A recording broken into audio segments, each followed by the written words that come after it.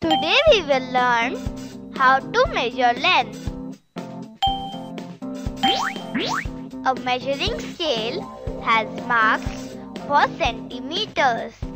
Between 2 centimeter marks, there are 10 small divisions.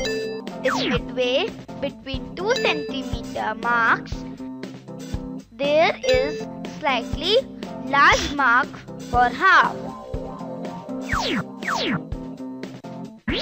Let's measure length of a matchbox by scale. Starting from 0 mark on scale, we will read marks on scale. It is 1, 2 and 3. So, length of matchbox is 3 centimeter.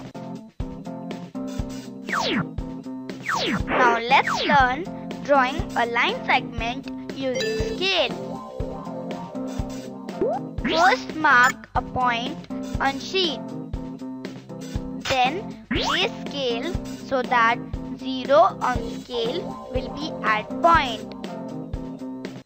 To draw a line segment of 4 cm, put the pencil at point and draw line. Till 1, 2, 3 and 4.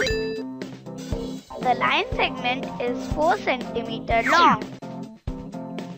Let's draw some more line segments. 5 centimeter 6 centimeter よ